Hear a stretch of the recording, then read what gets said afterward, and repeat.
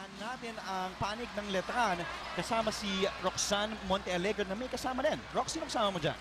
Kasama ko ang isang big fan ng basketball at a big fan rin ng Voltes, Voltes 5 na si Ryan James. Ay, Ryan, Alright, ayos ba tayo dyan? Woo! ayan. Ano ang pakiramdam na nanonood ka ng isang Letran San Beda game? Ah, medyo kinakabahan ako kasi taga Sentro Escolar ako tapos kaharap namin San Beda. So, laging sinusulot ng taga San Beda yung mga magagandang girlfriends namin. At ah, medyo, ayun. So, sa tingin ko baka masulot ng San Beda itong ah, itong ah, championship na to. At dahil Letran Knight sila, meron din silang Knights na panglaban hanggang katapusan. Kaya rin nilang pumatay ng leon. So even na even ang laban. Alright. Woo!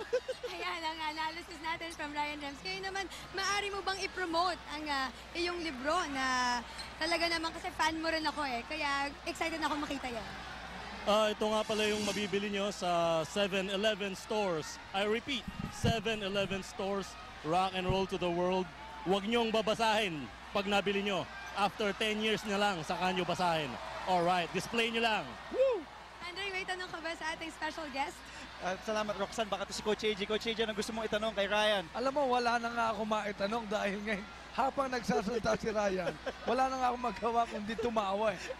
Ryan, anong gagawin mo at the half mamaya-maya? Di ba may kailangan din abangan? Ah, Sasayaw ka ba? Kakanta ka? Magbabasketball? ah, wala, tingin ko mag-split na lang ako sa stage. Myrtle. Salamat, Andre, Coach AG.